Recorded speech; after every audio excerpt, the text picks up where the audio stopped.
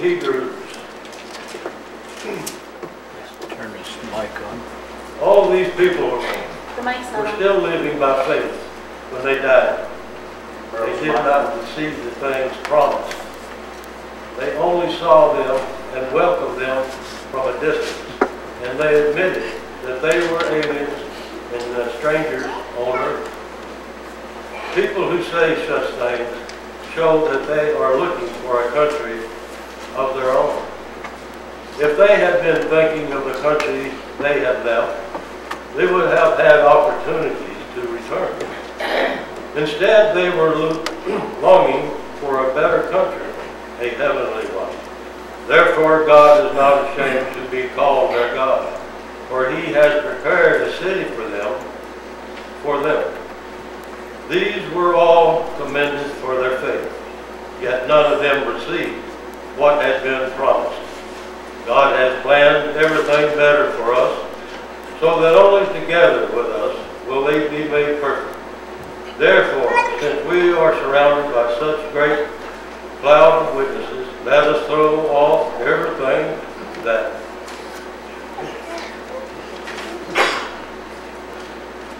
hinders and the sin that so easily entangles.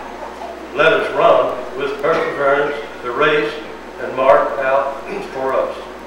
Let us fix our eyes on Jesus, the author, the perfecter of our faith, who for the joy set before him endured the cross, scorning its shame, and sat down at the right hand of the throne of God. Consider him who endured such op- opposition from sinful men, so that you will not grow weary and lose heart. So be it.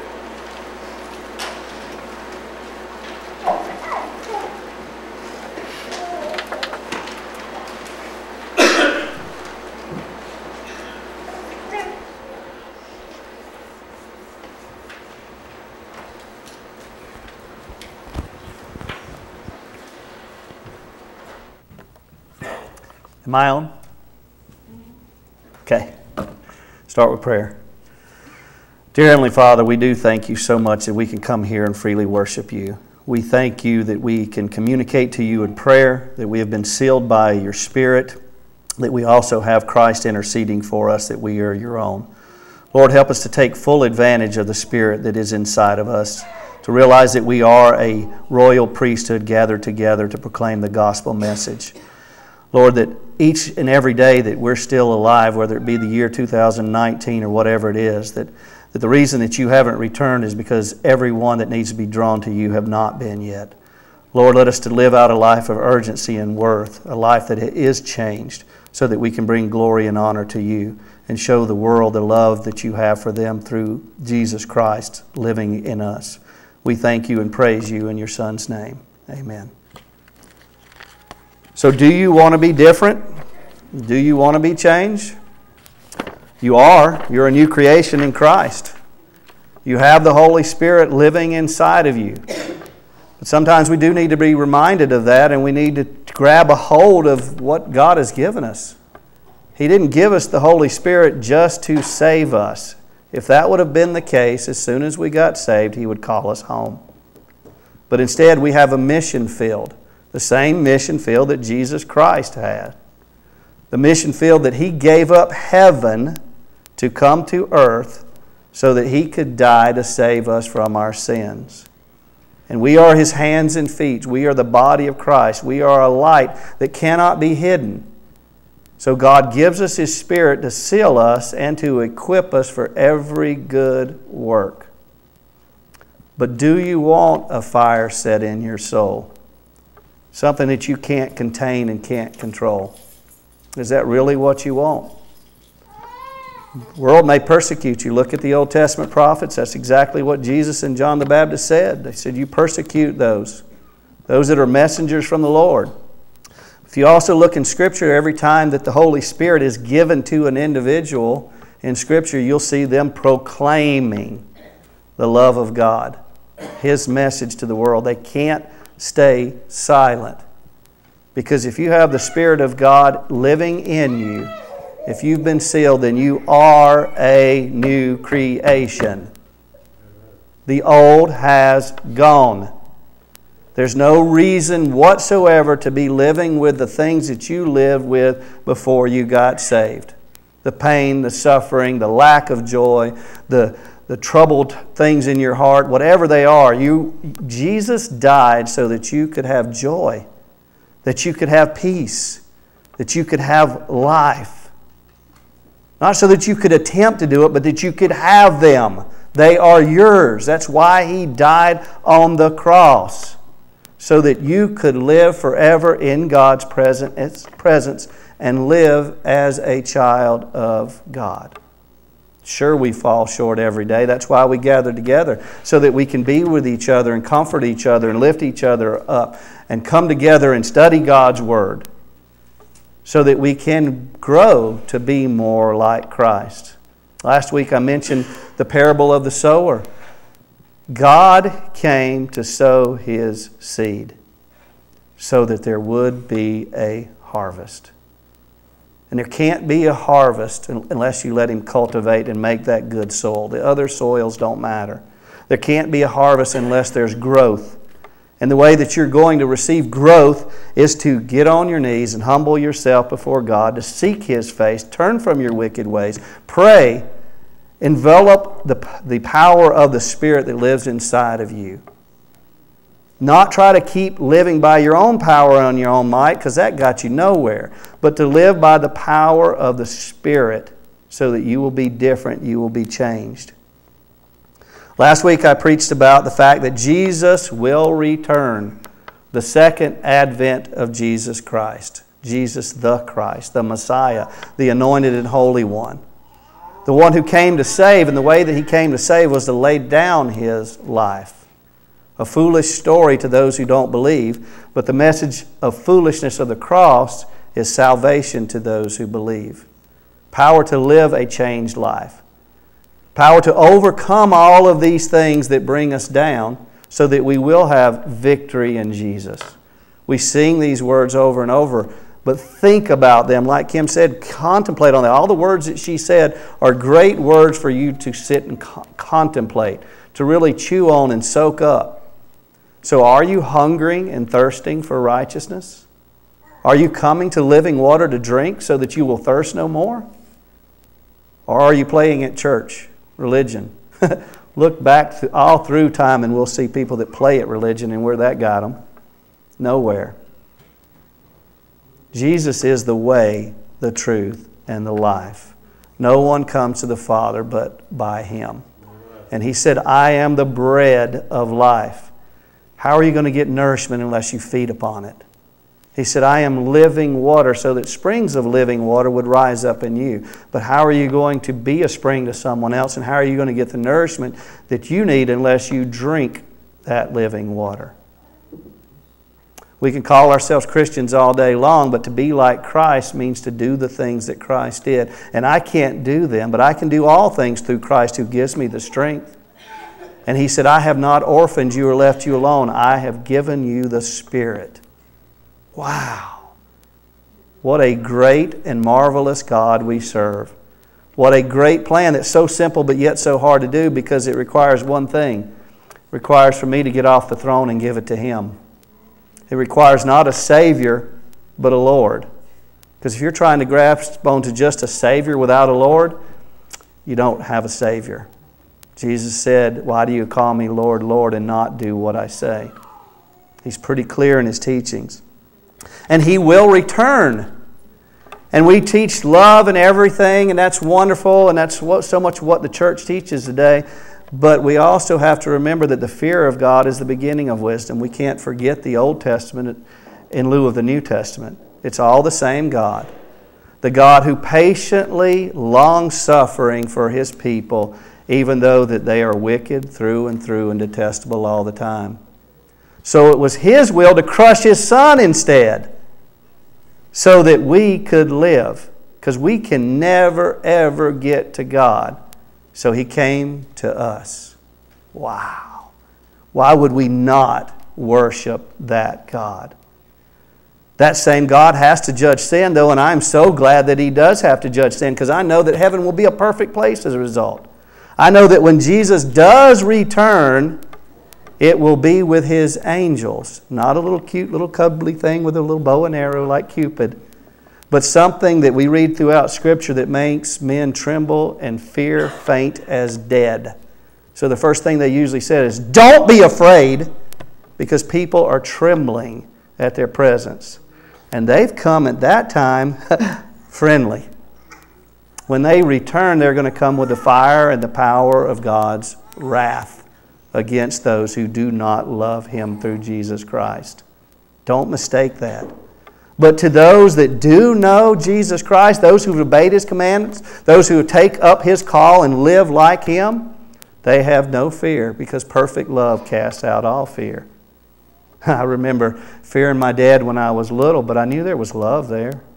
And the more that I understood my dad's love for me, the more I didn't fear him. More I did fear him a little bit when I did wrong because I knew there was punishment. But as I grew to understand more, the more I knew that that punishment was for my own good and because I had done wrong. And how much more will a heavenly Father be a perfect Father for us?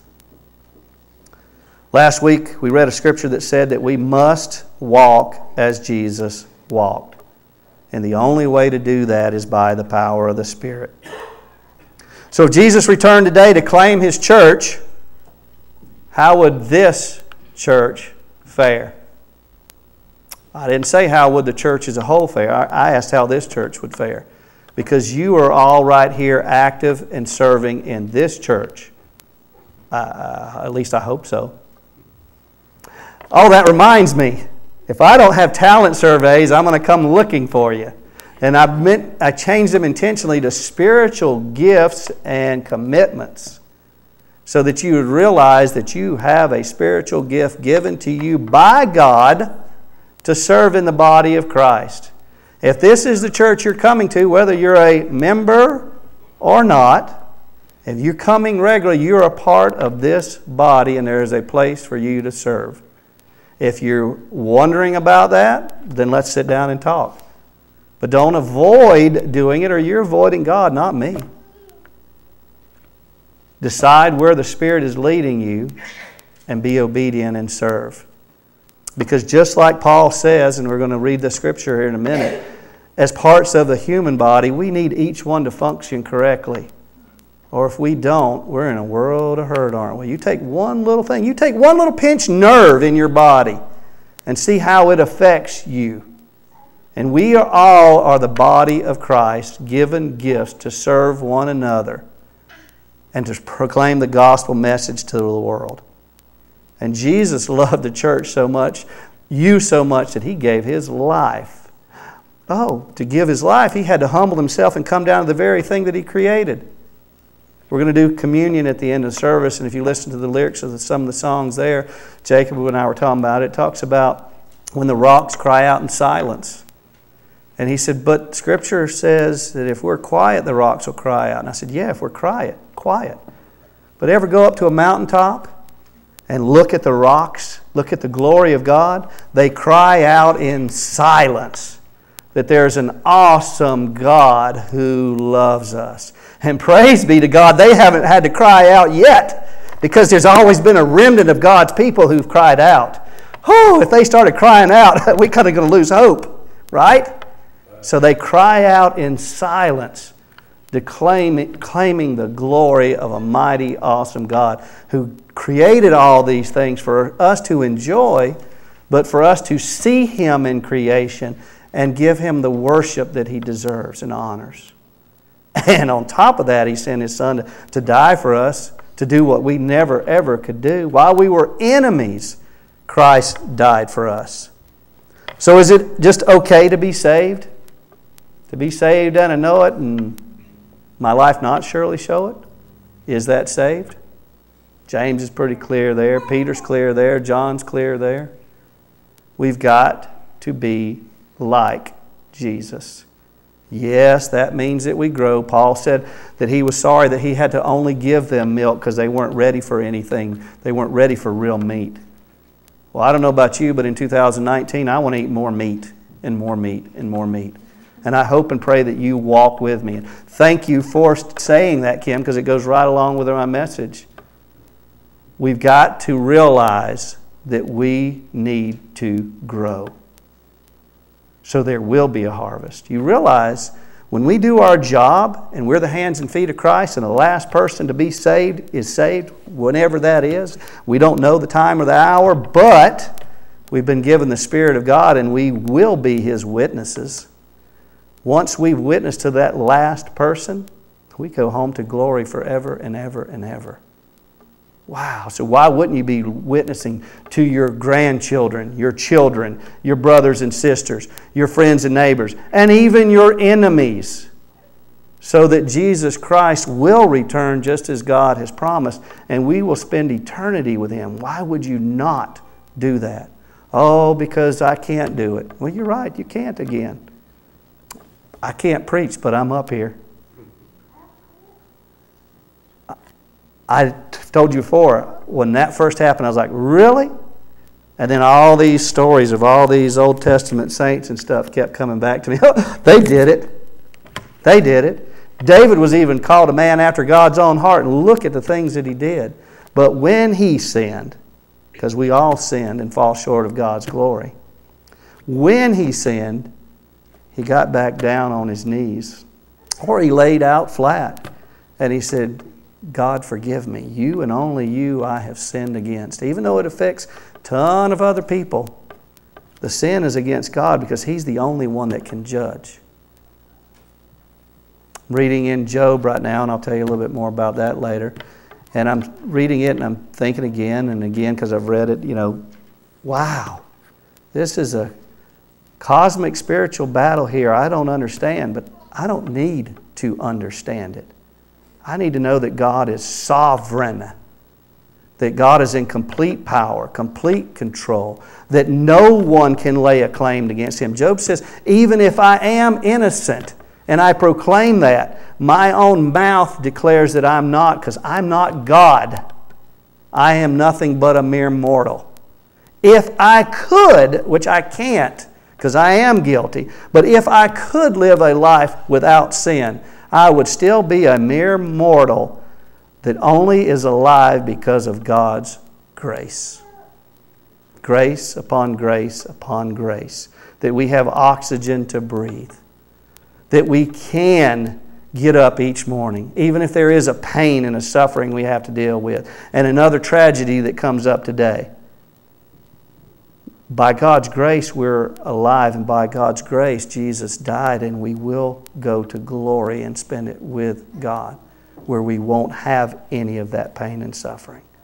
What a mighty God we serve.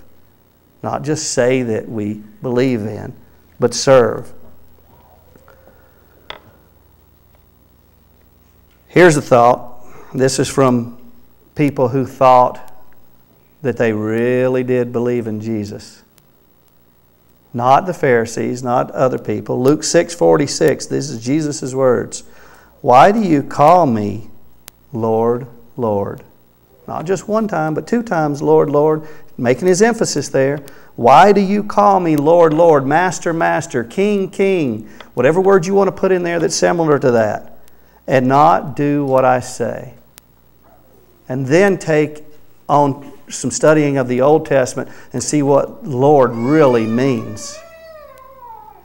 Your mind can't comprehend what God's lordship is over you. But through the Spirit, you can become more like Christ each and every day. We can't comprehend how magnificent God is. But if we get just a little glimpse of that, we can see how inferior we are but yet how precious we are and beloved that He would send His only Son to die for us. What an awesome God that demands our obedience, our worship, our praise. But yet He gives us a choice, doesn't He? What more fair God could there ever be? What more just God could there ever be? Because He lets us have a choice. He doesn't force men to come to Him. All of the rest of creation, the waves roar God's majesty. They can't do anything but do that. Every time you see them lapping on the beach and hear that sound, you close your eyes and hear it. They're proclaiming God's majesty. But you and I have a choice. We have to decide if we're going to get off the throne and give Him the throne and serve Him and love Him with all of our heart, mind, body, and soul. and then when we do, oh, we'll love one another, won't we? In 1 Corinthians, we're getting to chapter 13, that love chapter. Because in my opinion, reading, reading 1 Corinthians, there's a problem with the division in that church. Oh, we don't want division in this church. No way. But there's division all over it there when people aren't united in the Spirit. There's division in that church, and Paul gets up to all this, all these gifts that you have and everything. Let me show you a most excellent way love. Love. Because that's exactly why we're here today. God loved us. That's exactly why we we will be redeemed if we believe in Jesus Christ, because God loves us. And we're to love one another as Christ loved and gave himself for the church.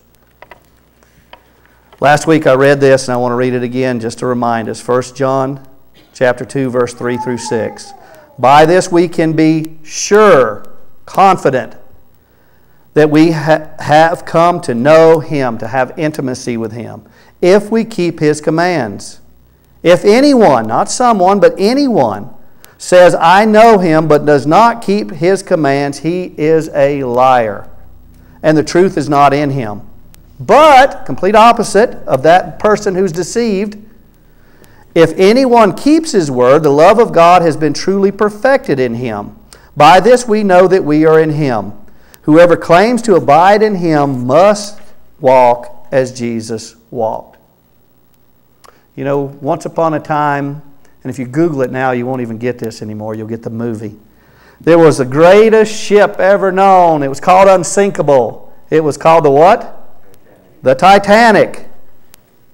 You know the thing that cost most people their lives? It wasn't the lack of lifeboats, because the lifeboats were half empty. It was because people believed that ship was unsinkable. They had been told that for so long.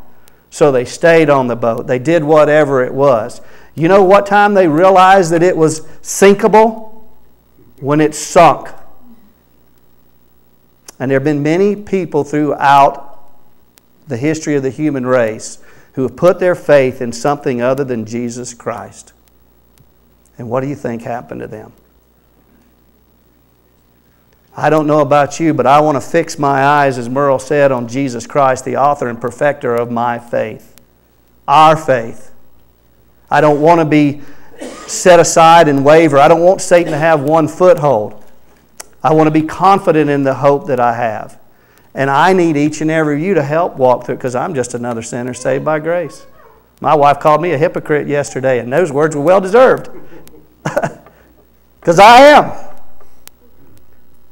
But when I heard that, it pierced my heart, and I asked her for forgiveness, and I asked God for forgiveness because I sinned against Him.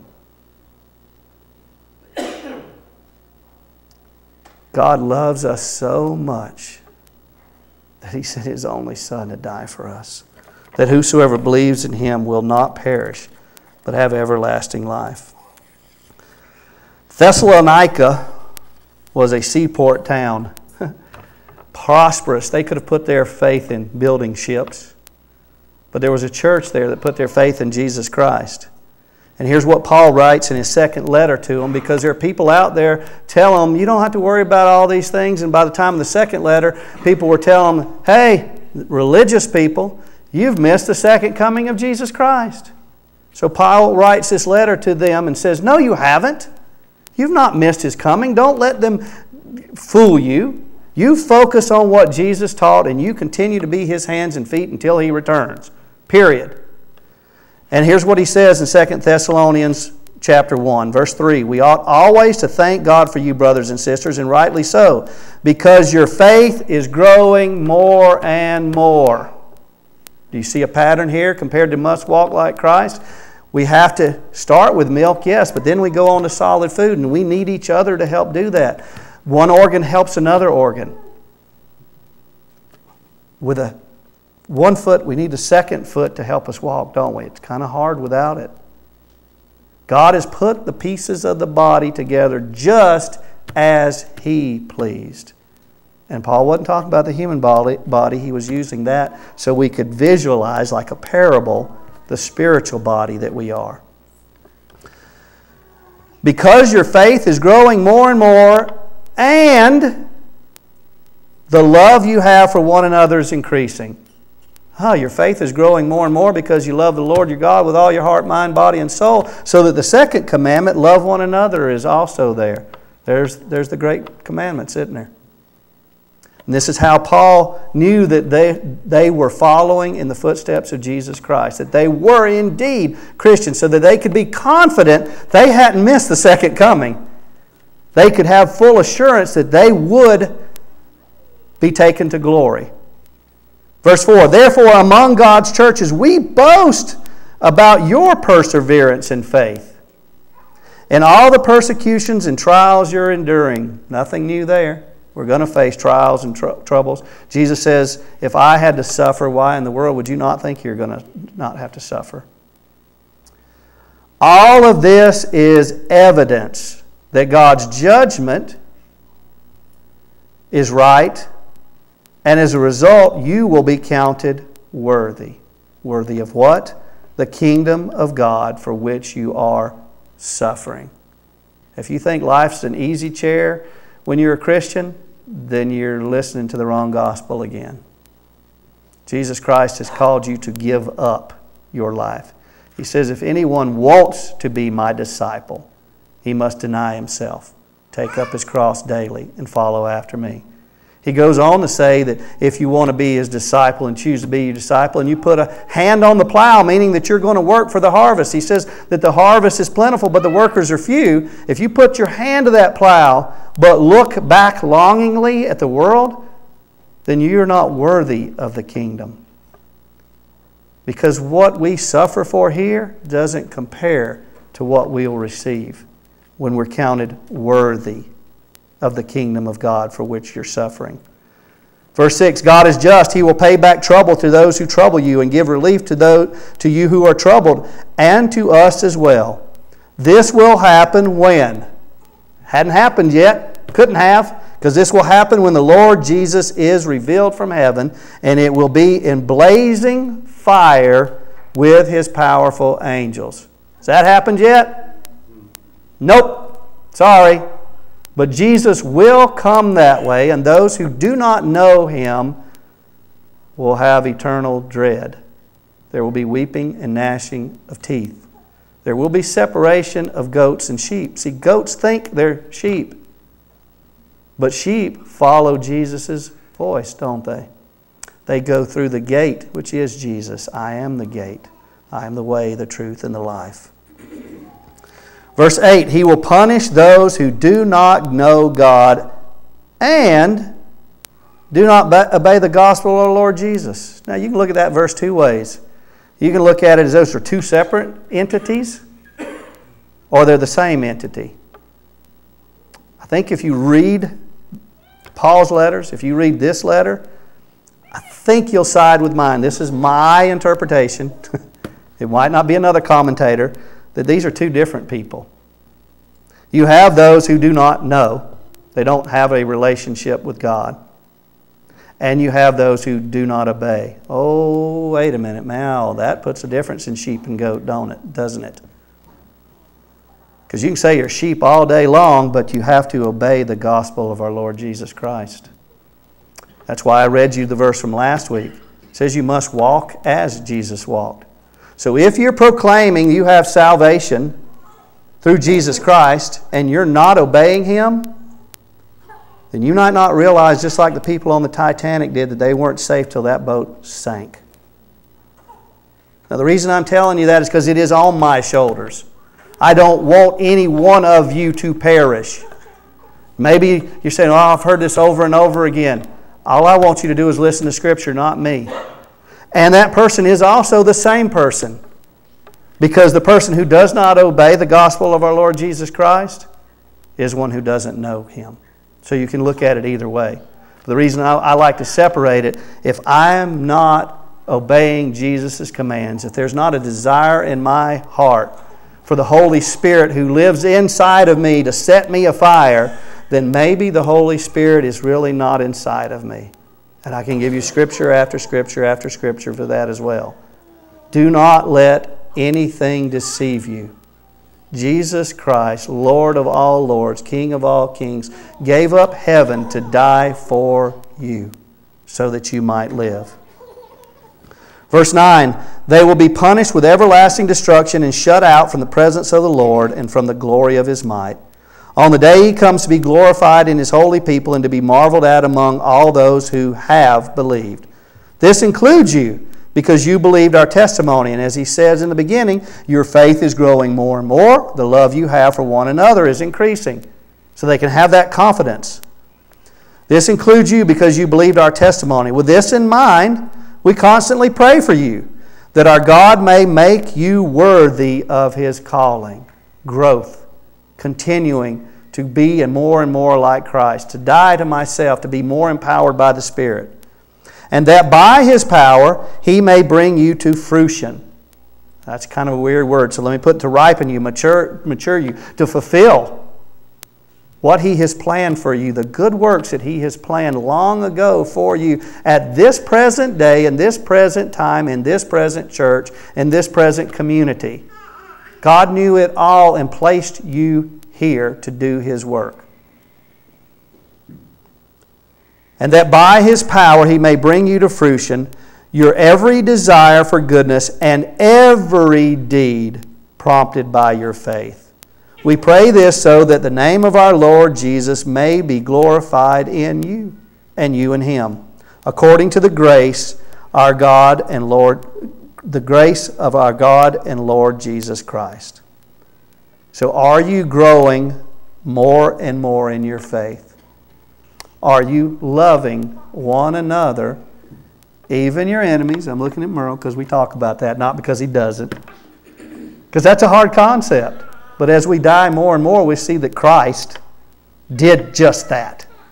And the more and more that we grow, the more and more we pray, the more and more we spend time with each other, the more we see Christ's love, and it compels us to love even our enemies. We're studying 1 Corinthians, and I'm just going to briefly read through this, but it, what we're studying here goes so perfectly along with that. And I'll be honest, there's only a few of us studying. I wish every one of us were studying it. I wish every time we came together, everyone was here. But that's not the case. And I'm not saying it to, to make you feel bad or anything else. I just want you to hunger and thirst for God's Word for time with one another. And that's my prayer. In 1 Corinthians chapter 12, Paul says, Now about gifts of the Spirit, brothers and sisters, I don't want you to be uninformed. You know that when you were pagans, somehow or other, you were influenced and led astray to mute idols. Therefore, I want you to know that no one who is speaking by the Spirit of God says Jesus be cursed, and no one can say Jesus is Lord except by the Holy Spirit. Now, don't dwell there on the curse because I don't curse God. But do you call Jesus Lord? Or do you call him Savior more? Do you call him Lord of your life? Because the only way you can call him Lord is by the power of the Holy Spirit that you've been born again. Verse 4 There are different kind of gifts, but the same Spirit that distributes them. There are different kind of service, but the same Lord. There are different kinds of working, but in all of them and every one the same God. Did you see the Trinity there? Spirit, Lord being Jesus, and God the Father. Now, to each one of you, each and every one, the manifestation, the proof or the revealing, the genuineness, whatever word you want to use there, the Spirit, is for the common good. The common good of the body first, so that we can be a body out in the world.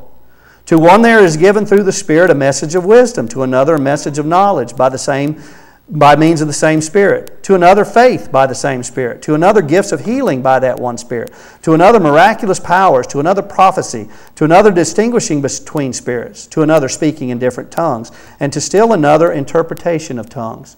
Now there's several gifts here there, but that's just a sampling of the gifts, which means a giver gives them to you. Okay? And this giver, God, gave them to you to use to give away, not to keep but to give to others to draw them to Him. But if you notice, not concentrating on the different gifts, you can do like Kim said, those are the words you can concentrate on later. Concentrating on the same Spirit, the one Spirit, still another, the, the same Spirit, although they're different gifts. Because you are God's child, you have been sealed by the Spirit, and each and every one of you is given a gift from the Spirit you might not ever knew you had to use to build up the body of Christ, to serve your God, to worship Him and give Him the praise that He deserved, deserves. All of these are the work of one and the same Spirit. And He, God Himself, distributes to each one just as He determines. Paul goes on to write about the necessity of a body having its certain parts because they serve the body. And my body works a lot more effectively when those parts work the way that they're supposed to. I challenge you to read on. I'm not going to read on because I could spend all day up here, but you guys probably would not appreciate it as much as I think I need to speak. But Paul's emphasis here is that each and every one of you have a part. And if you realize and accept Jesus Christ and see the love of God for you, you will play out that part in the body. Why would He give you the gift for you to not use it. And the reason I say that starting in 2019 is so that we get on the same focus as a church, that we have unity rather than division. So there's not like there are in some churches, right, Bonnie? Where they have growth coming in and there's arguing over a nursery and it's dividing the church. Mm. What in the world? What if they just got together and sat down and prayed together and realized there's one God, one Lord and Savior, Jesus Christ, and one Spirit who distributes to this body according to the way God sees for you to use the gift that has been given to you to serve Him, to give Him the worship and honor He deserves because He gave up heaven to die for you. That's how Paul starts out the letter to Corinthians. He could have stopped right there if they would have realized it, but instead he has to continue on. And there's a second letter to Corinthians, and there's more than that. We only have two, though. And we don't know what happened to the Corinthians church, but there's not a sign of it in history after. So they might not have ever got their divisions taken care of. I don't know. All I know is what God has intended and why He's given us the Spirit to glorify Him and to be united with one another, to be one body with one head and master, Jesus Christ. Have you ever wondered why we don't see as many miracles today? Why you don't experience healing as much? These are the gifts that were listed here. Why you don't hear tongues as much? Oh, you might in certain churches, don't get you wrong, but I'm talking about in general. Is it because the body isn't functioning the way Jesus intended, what he died for? Could that be it? Jesus himself said in Matthew 13 58, He said, did, and Jesus himself did not do many miracles there because of their lack of faith. I heard something on tongues the other day, and it'll stick with me because it just one of those things that pierced me. Said, How could you ever think that the Spirit, because I've said that before in the scripture here, would give you the gift of tongues? If you're not boldly proclaiming the gospel message in your native tongue? How can you ever think that you would experience healing in your life or in someone else's life if you don't have faith? Jesus would have performed many miracles there instead of some, a few, if they would have had faith. And He hasn't gone anywhere, He's still here. He lives inside of each and every one of us. And the reason that we don't see the miracles that we could be seeing is because of our lack of faith and obedience. Hmm. In Mark chapter 6, verse 5, says the same story. It says Jesus could not do any miracles there except lay his hands on a few sick people and heal them. I take that to mean that there were many there who needed healing. They were sick and hurting. But he couldn't, didn't say he wouldn't, said he couldn't do it. Why? Because of their lack of faith. Verse 6 says, He was amazed at their lack of faith. God Himself giving up heaven to come and die for us, to be humiliated, persecuted, and put on a cross and you don't think He can bring healing? You don't put your trust, your total faith in Him? He could not, because see, God acts and works through a praying, humble, obedient people. Start reading if you don't think so. The Old Testament is one pattern after another, and a faithful God It's a new year. Time to make resolutions and improvements, right? So I'm going to ask you a few questions. How is your faith? I didn't ask you how your neighbor's was, your husband's was, your children's were. I ask how yours is. Do you profess Jesus as your Savior?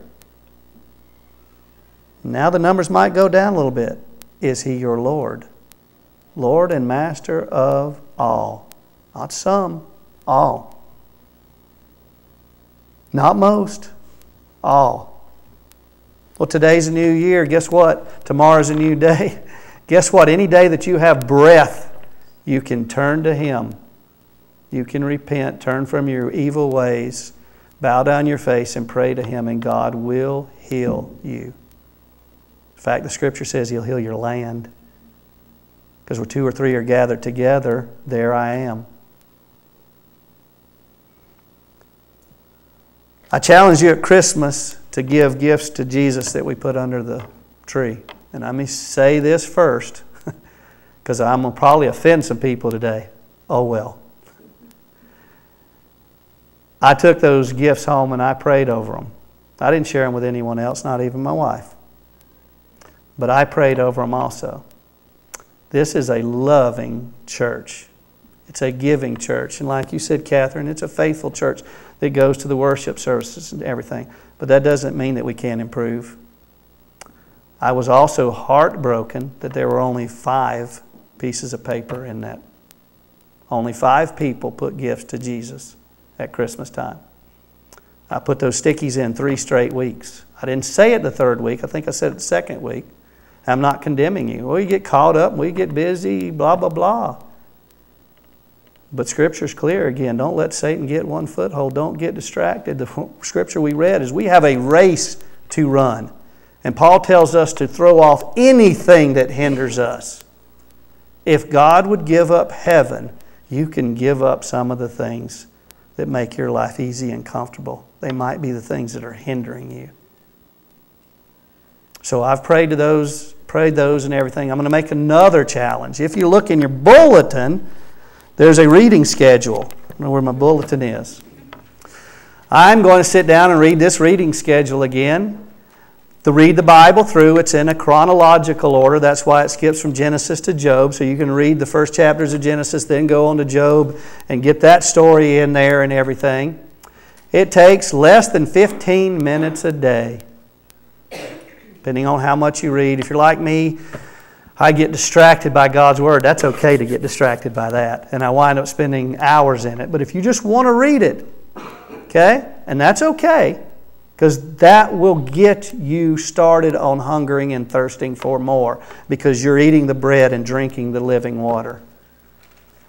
But if you want to do that, it takes you 11 minutes and something a day at normal speech to read it through in a year. Guess what, though? You got to play catch up because it's already day six. And I didn't start till Friday. And I'm on day six now. It was easy to do yesterday to get caught up. Now, I'm not telling you to procrastinate like I did, okay? I'm telling you that I would love for you to walk through this with me. So I'm challenging you again for another commitment. Maybe there'll be more than five that take me up on that. If you want to, also, I have ordered some journals that I'll have next week. Amazon Prime delivery wasn't prime enough. so I'll have them next week. And you can take your thoughts, what God spoke to you, and journalize, and you can also put down a prayer as a result. And when you start praying more and more like that, the more you'll realize that my prayer life's not all about me. As I pray more and more, I start praying for my family and friends. As I start praying more and more, I pray about even my enemies. Because that's exactly what Jesus did. He prayed for us. Read John chapter 17, see what he prayed about. He was leaving this earth and he prayed uh, for his disciples. He prayed for us. He prayed for all future believers and promised the Holy Spirit. So next week I'll have journals if you want to do that, and then you've got to catch up on them as well. But we're at day six. You've got through next week there, and then I'll give you a complete schedule and everything. If you want to take that challenge with me, I would love for you to take it with me because I will need someone also, another part of the body of Christ, to come to me and say, hey, are you keeping up like you said you would? Because I'm a sinner saved by grace. I will fall short of my expectations. But I hope to be like David. I hope to humble myself and tell him that I've sinned against him and I need restoration. And guess what? He'll lift me up because he's faithful to do that. Are we growing more and more in our faith? Is the love that we have for one another increasing more and more? Revelation is the last book in the Bible written about the things that must come. And we study it so many times we get caught up on what does all these things mean? And I don't think that was ever the intent of the letter. The letter is say, his intent was to tell John, the last disciple, my opinion again, you don't have to have the same opinion, not to lose hope. These things have to come first. Just like Paul wrote to the church in Thessalonica. And if you'll notice, right after he says the purpose of the letter and everything, he goes and gives the letters to the different physical churches that are there in that day. Only two of them get a good letter. The rest get letters that are good, but bad. Good that God is faithful, bad that you're not following Him faithfully. And in each and every one, there's a promise if you repent and turn to Jesus, problem solved. Buy salve from Jesus to cure your spiritual blindness. Don't sit in your confidence because you're still poor, wretched, pitiful, naked, and blind. And it's been refreshing to read Job to see that he didn't do anything wrong, but he realized he's still simply a mere mortal that deserves nothing except that it's given to him by God's grace. Let 2019 be a time when you worship God, where we grow with one another to be more and more like Christ. We do make a difference in this world just as Jesus died and intended for us. So I've got communion elements here also, and I'm going to pray over them. And you're welcome to come take communion however you want or not to. I'll remind you again that Paul gives instructions for communion, and he says not to do this in an unworthy manner. The night Jesus died, he said, Take this bread. That's if you choose to take it. Take this and do this in remembrance of me. Why I came, what I taught, the commission, the great commission that I gave to you. The reason that the Spirit was given, so that you don't need to know all the answers to everything, but instead you will be my witnesses because the power that is inside of you to live out a royal priesthood life. Reading through the Old Testament, you'll understand again that God came to the temple and the priest delivered God's word. That's you and I now in this world. The veil was torn. God dwells inside of his children as pre- we are priests to tell others of Jesus Christ. He said, This is my body, stripped and beaten for you, naked on a cross, humiliated the King of all kings and Lord of all lords. If that wasn't clear, they put that on the, the name plaque. even in pe- people's mocking, the facts that God is sovereign, that Jesus is Lord, is still there. And the cup, he said, Do this in remembrance of me, because it is my blood poured out for you. This new covenant, God keeps his covenants, this eternal covenant, that because of Jesus' blood, that all you have to do is believe by faith, put your trust in him. By grace are you saved through faith. Nothing that you've done, nothing that you could ever do.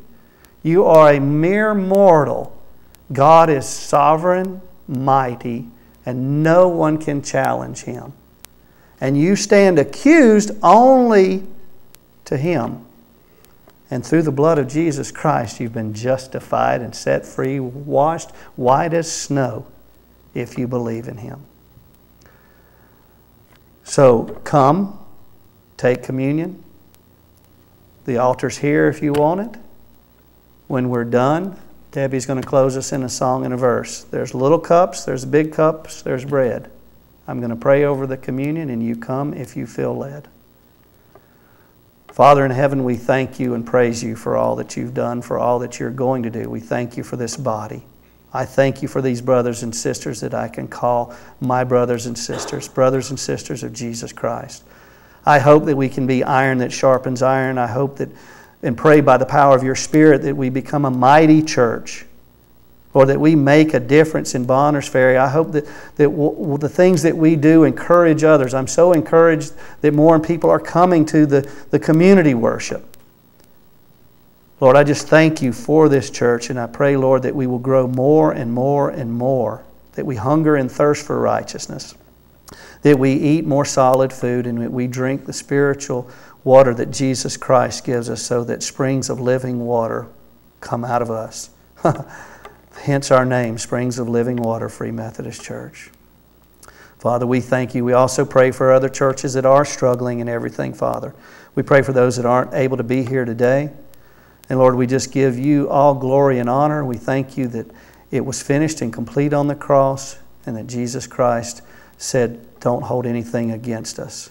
We thank you that we know that His covenant, that His blood was satisfying to you, and that it was your will to crush Him so that we would not be crushed, but instead have everlasting life. We pray this in Jesus' precious name. Amen.